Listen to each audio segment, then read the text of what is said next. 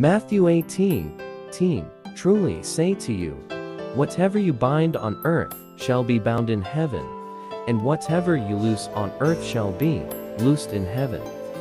God bless us all.